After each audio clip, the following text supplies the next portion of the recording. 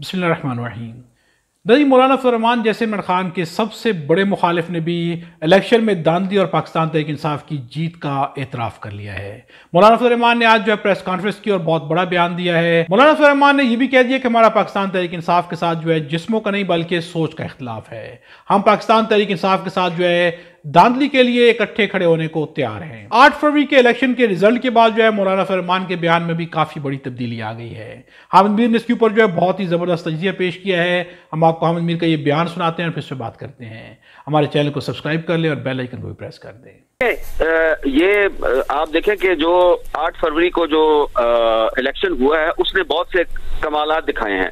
और उसमें एक कमाल ये है कि आज जब मौलाना फजल रहमान साहब से सवाल किया गया कि क्या आप पीटीआई के साथ मिलकर तहरीक चलाएँगे? क्योंकि आप भी धांधली का इल्ज़ाम लगा रहे हैं, वो भी धांधली का इल्ज़ाम लगा रहे हैं। तो उन्होंने उसका बड़ा एक खूबसूरत जवाब दिया है कि जी, वो भी कहते हैं, अल्लाह एक है और हम भी कहते हैं, अल्लाह एक है। तो क्या इसका मतलब है कि हम मिलकर तहरीक चलाएँ?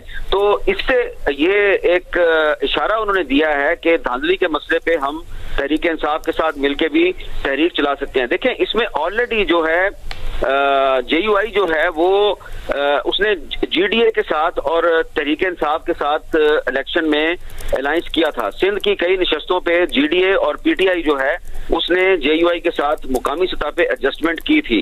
तो एक कौमी सतह पे मौलाना फजल रहमान और इमरान खान साहब के दरमियान तो एक इख्तलाफात हैं, एक दूसरे के खिलाफ बयान भी देते रहे हैं।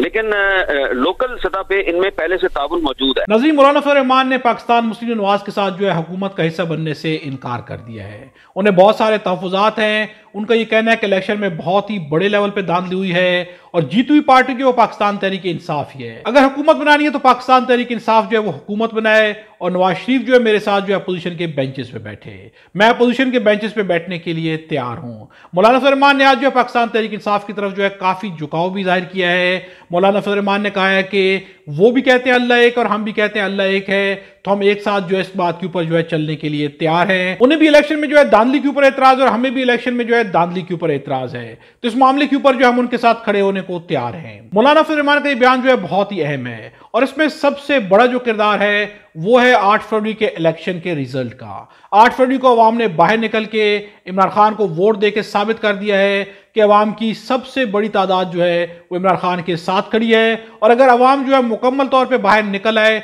तो तमाम सियासी पार्टीज़ का सफाया हो जाएगा। मौलाना फरमान अगर आज झुकाव दिखा भी रहे हैं तो इसमें मौलाना फरमान की अपनी सियासत को फ़ायदा है। क्योंकि मौलाना फरमान का खुद अपना जो है सफाया हो चुका है। उनकी पार्टी जो है पाकिस्तान तहरीक इंसाफ के सामने जो है मुकम्मल तौर पर हार चुकी है। बल्कि तमाम सियासी पार्टीज़ जो है पाकिस्तान तहरीक इंसाफ के सामने जो है मुकम्मल तौर पर हार चुकी हैं। इस वक्त हर सियासी पार्टी जो है, अगर इमरान खान के नाम पर कुछ भी बयान दे, उनके हक में बयान दे तो उनकी अपनी सियासत को फ़ायदा है। इसलिए तमाम सियासी पार्टी जो है, किसी न किसी लेवल के ऊपर जो है पाकिस्तान तहरीक इंसाफ के साथ जो है मुंसलिक होने की कोशिश ज़रूर कर रही हैं। इलेक्शन में अवाम का जो किरदार है अगर अवाम का किरदार ऐसे ही रहा तो अवाम के वोट को इज़्ज़त भी मिलेगी और अवाम की मर्ज़ी का लीडर भी ज़रूर मुंतखब होगा। अपनी राय का इजार जो है कमेंट्स में ज़रूर कीजिएगा। खुदा हम सबको और हमारे वतन पाकिस्तान को अपनी जबान में रखे।